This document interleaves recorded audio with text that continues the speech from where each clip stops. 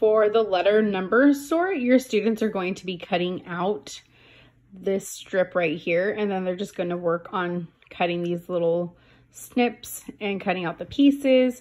Um, this one says letters A, B, and C, numbers one, two, three. So it does have a little visual up here for them. Um, once you have all these cut out, you can have them on the table and ask your student to find the number five. They'd find number five and glue it on the numbers. Find the letter Y. They'd find Y, glue it here on letters. Sorry, this was numbers.